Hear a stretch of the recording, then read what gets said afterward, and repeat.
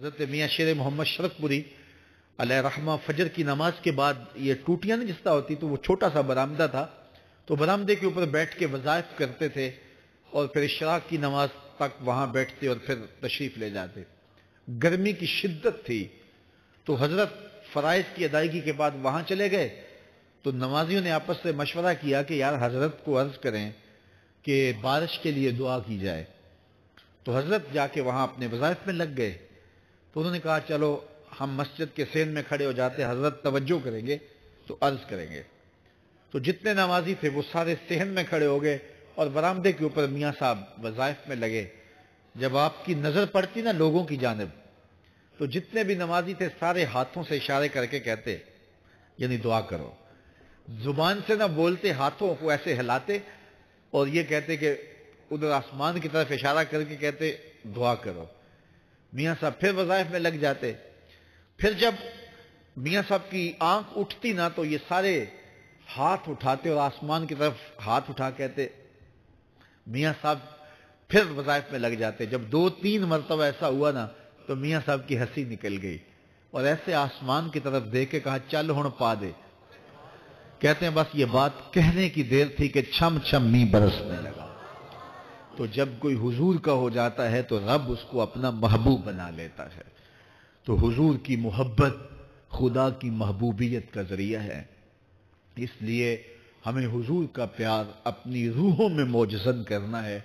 हुजूर की मोहब्बत अपनी रूहों में उतारनी है और मोहब्बत अपने तमाम तर तकाज़ों के साथ जब रू पजीर होगी तो फिर हमारा अंदाज ज़िंदगी भी संवर जाएगा, हमारी आखिरत भी संवर जाएगी।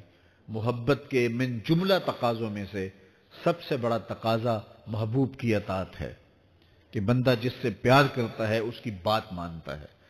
यह है दावा मोहब्बत का सबूत, उसकी दलील। और हुजूर के सहाबा की जिंदगियाँ देखिए कि उन्होंने हुजूर सलाम के साथ कैसे प्यार किया।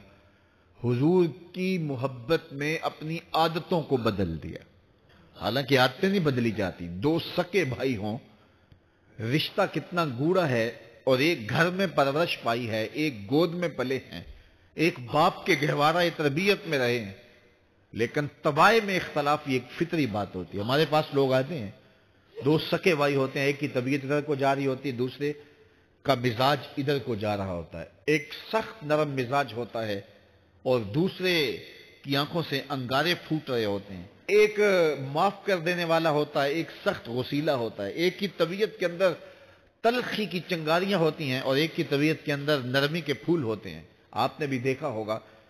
तो ये ऐसा होता है। अब इसी तरह खाने पीने की चीज़ों में तबाह का इख्तलाफ, ये फितरी बात है। एक को एक चीज़ पसंद होती है, दूसरे को वो चीज़ पसंद नहीं होती है। बस का माँ को मसला होता है कि ये चीज़ अगर मैं तैयार करती हूँ तो मेरा दूसरा बेटा नहीं खाता। तो उसके लिए बात से अलग से कोई चीज़ तैयार करनी पड़ती है कि उसकी डिमांड ये है और मेरे इस बेटे की डिमांड ये है। माए मिजाज समझती है।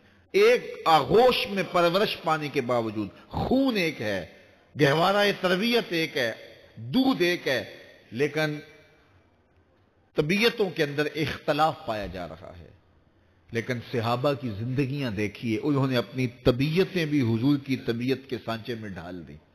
हज़रत अनस बिन मालिक को किसी ने देखा कि वो शोरबे से कद्दू के टुकड़े निकाल निकाल के खा रहे हैं। तो कहा, ये क्या कर रहे हो? कहा, मैंने एक दिन हुजूर को यूँ करते हुए देखा था। तो तबाह का इख्तलाफ, ये एक फितरी इख्तलाफ होता है, लेकिन सियाबा ने उसको भी छोड़ा और हुजूर की मोहब्बत के सांचे में डाल दिया। फिर इस चीज़ का इंतज़ार नहीं किया कि हुजूर का फरमान क्या है। हुजूर की चाहत पे अपने मिजाज को बदला। अल्लाह अकबर। हुजूर सलाम मदीनातुल मुनव्वरा की गली से गुजर रहे थे। एक गुंबद नमा मकान बन रहा था और ऐसे मकान हजूर को पसंद नहीं थे। तो आका करीम इस्लाम ने पूछा, ये मकान किसका है? कहा, फलान सारी का है। हुजूर गुजर गए। चेहरे पे थोड़े से नागवारी, आसार हवैदा हुए।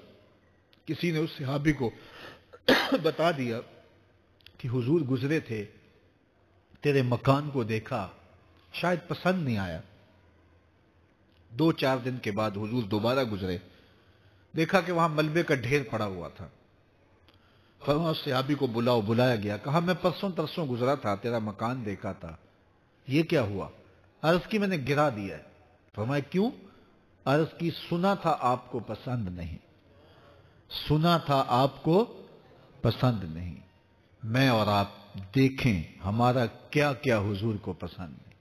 सर से लेकर पाँव तक, निजी ज़िंदगी से लेकर सियासी ज़िंदगी तक, अपने उमूर ज़ात से लेकर के अपनी मुआशरती ज़िंदगी तक, हमारा क्या क्या हुजूर को पसंद नहीं और हर वो चीज़ बदल दें जो हुजूर को पसंद नहीं मुहम्मद दी जियारत, मुहम्मद दे रंग विच, ए ठगबाजियाँ जाने प्यारा मुहम्मद। सल्लल्लाहु अलैहि वसल्लम। मेरे शेख कामिल का एक शेर है, और वो शेर इतना वजनी है कि अगर मेरे पास जवाहर लाल मोती हो, और मैं एक पलड़े में डाल दूँ और एक पलड़े में ये शेर रख दूँ तो ये शेर फिर भी भारी होगा। यारी ला तू पाक नबी संग ए पर पूरी यारी, फिर दरूद कबूल है तेरा, लख न एक बारी सवा लाख मरतबा दूध पढ़ना एक तरफ़ और एक दफ़ा हुजूर की जात पे दरूद पढ़ना, उनकी मोहब्बत के सांचे में यूँ ढल करके जो वो कहते हैं, वो मेरी ज़िंदगी का अमल है, ये उससे वजनी है, ये उससे भारी है। तो हुजूर की मोहब्बत, हुजूर के एक सहाबी थे, वो हुजूर को मिलने आए और आए थे बहरीन से। अच्छा उन्होंने हुजूर को सलाम किया तो हुजूर ने रुख फेर लिया। नाराज़गी का इजहार किया। तो वो समझे कि शायद हुजूर ने ऐसे ही रुख फेरा तो जिधर हुजूर ने रुख फेरा, वो उधर जाके सलाम करते हैं। तो हुजूर ने फिर रुख फेर लिया। समझ गए कि हुजूर नाराज़ हैं। अब उन्हें समझ ये नहीं आ रही थी कि नाराज़गी का सबब क्या है। वो असहाब रसूल से पूछने लगे कि हुजूर मुझसे नाराज़ नाराज़ लगते हैं। आप में से कोई बता सकता है कि हुजूर क्यों नाराज़ है? अल्लाह अकबर, आज तो कोई बड़ा बाप हो मुर्शिद हो, उस्ताद हो, नाराज़ हो जाए और शागिर्द को नाराज़गी की वजह मालूम ना हो तो वो उल्टा नाराज़ आगे से हो जाता है कि मैंने जुर्म क्यों किया है कि उस्ताद का मिजाज बिगड़ गया है। अल्लाह अकबर। लेकिन जरा देखिए, रंग देखिए मोहब्बत के। वो सहाबा से पूछता फिरता है कि हुजूर मुझसे नाराज़ हैं। मुझे बताइए कि क्या सबब हुआ? तो उन्होंने कहा कि ये तेरे हाथ में जो सोने की अंगूठी है, इससे हुजूर नाराज़ हैं। क्योंकि हुजूर इसको मना कर चुके हैं। उम्मत के लिए, सोना चांदी हुजूर ने उम्मत के मर्दों के लिए मना फरमा दिया।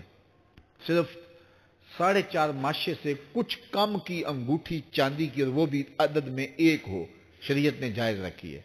अगर दो दो माशे की दो होंगी तो फिर भी जायज़ नहीं। औरत को जायज़ है, दस अंगूठियाँ पहने, सोने की पहने, चांदी की पहने, ये उसका जेवर है। मर्द को जेवर की ज़रूरत नहीं है, जीनत की ज़रूरत नहीं है। लिहाजा मर्द के लिए एक अंगूठी रखी गई है, वो भी इसलिए कि अगर वो कहीं मुश्किल में हो तो उसको बेच करके दो वक्त का खाना ले सके। बाकी उसके लिए अंगूठी साढ़े चार माशे से कम का चांदी या सोना एक माशा ही क्यों ना हो, उसके लिए जायज़ नहीं है। तो उसने सोने की अंगूठी पहन रखी थी, लेकिन उसे हुरमत का पता नहीं था। तो उसने कहा कि, हुजूर मुझसे क्यों नाराज़ हैं? तो सहाबा ने कहा, शायद ये इस अंगूठी की वजह से नाराज़ हैं। तो उसने ये नहीं कहा कि, मुझे तो पता ही नहीं था। मेरा क्या कसूर। खैर, उसने अंगूठी उतार के हुजूर को पेश करते कहा, हुजूर, आप इस वजह से नाराज़ हैं? हुजूर ने अंगूठी पकड़ी और ऐसे फेंक दी। नाराज़गी की वजह खत्म हो गई, वो बैठ गया, बात शुरू हो गई। अल्लाह अकबर, जब सिलसिला एक कलाम होता रहा, जब मजलिस बर्खास्त हुई, लोग उठ के घरों में जाने लगे, वो भी उठा और उल्टे पाँव से पीछे चला तो किसी ने उसको कहा, वो अंगूठी तो उठा लो। सोने की अंगूठी है, कीमती है, चलो तुम्हारे लिए पहनना जायज़ नहीं, तुम्हारी बीवी के लिए तो जायज़ है। तो उसने क्या जवाब दिया सुनिए, उसने कहा वल्ला है ला आखुजहू वक़द तरहू रसूलुल्लाह सल्लल्लाहु अलैहि वसल्लम। अल्लाह की कसम, मैं इस अंगूठी को कभी भी नहीं उठाऊँगा जिसको मेरे हुजूर ने फेंक दिया है। तो ये थी उनकी मोहब्बत, ये था उनका अंदाज। तो आइए मैं और आप हुजूर से अगर मोहब्बत करते हैं तो हुजूर सलाम का तर्ज ज़िंदगी, हुजूर का अंदाज मुआशरत इख्तियार करें। कसरत के साथ माएँ, बहनें, बेटियाँ भी मौजूद हैं। वो भी अपनी औलादों की तरबियत इस नहज से करें कि वो हुजूर की सुन्नत, हुजूर की सीरत और हुजूर की इत्तिबा के सांचे में ढल जाएँ। ज़िंदगी का मकसद ही यही है। आए, बड़े हुए, जवान हुए, बूढ़े हुए चले गए। हमसे पहले भी चले गए, हम भी चले जाएँगे, बाद में आने वाले भी चले जाएँगे। लेकिन हकीकी कामयाबी उसको नसीब हुई, जिसने इस दुनिया पे आके दुनिया की ज़िंदगी के मकसद को समझा। हम आए क्यों थे? ज़िंदगी किस लिए हमें दी गई थी? अकबर अलाबादी ने क्या सुथरी तनकीद की थी? क्या बताएँ अहबाब, क्या कार नमाया कर गए? बीए किया, नौकर हुए, पेंशन मिली और मर गए। ये कोई काम नहीं है। हमारी ज़िंदगी का कोई मकसद है। जिसलिए हम इंसान हैं, अशरफुल मखलूक़ात हैं। देखिए, गधा सारा सारा दिन बोझ उठाता है। अल्लाह अकबर, मेरे साहब ने गधे से भी एक मुआजना किया है कि सारा दिन जो है वो बोझ उठाए और काम करे। और फिर मालिक उसको गजा भी ना दे। वो जाके रूढ़ियों से और बाहर से जाके चल के फिर आके काम मालिक का करे। मालिक उसको दे भी ना और वो बाहर से खा के आए और काम मालिक का करे। तो अगर बंदा हो के, इंसान हो के अगर ना करे तो मेरे हजूर ने एक लंबी रुबाई है, उसमें आखिर में लिखते हैं, तू चंगा याकूब या खोता, तेनू शर्म ना आवे। कि अगर वो एक गधा भी काम करे, अपनी पीठ पे बोझ ला दे और तू अपने मालिक के लिए कुछ ना करे और सारी नेमतें मालिक ने तुझे दी हैं और इज्जतें और आबरू तेरे नाम की हैं और तू उसका हक ही अदा ना करे तो फिर किस तरह तेरे से? तो फिर उलाई का कल अनाम बल हम अदल। फरमाया, तू चौपाया है, बल्कि चौपायों से भी बदतर है। तो मैं और आप अपने आप को इंसान साबित करें। आज मौका है, से साबित ने अजय हवास तेरे। से साबित ने अजय हवास तेरे। कर ले नेकियाँ रज के तू। अड़िया रब रसूल क्यों भुल बैठो आ रब रसूल वल भज के आई मौत इथे रहसन कम तेरे आई मौत इथे रहसन कम तेरे नेकियाँ कर ले भज के तू की आख सन लोग याकूब तेनू जब टुर प्यो सर मुँह कज के तू वो वक्त आएगा जब तनियाँ बाँध दी जाएँगी जब दोनों जानब से कफन बाँध दिया जाएगा फिर पर्दा हटा हटा के देखा जाएगा, फिर बंद कर दिया जाएगा। वो लम्हे कितने दर्दनाक होंगे, वो घड़ियाँ कितनी दर्दनाक होंगी। आज मुझे और आपको अल्लाह ने मौका दिया है तो आज हुजूर की सीरत को अपनाने का, अपनी रूहों में उतारने का अज़म करके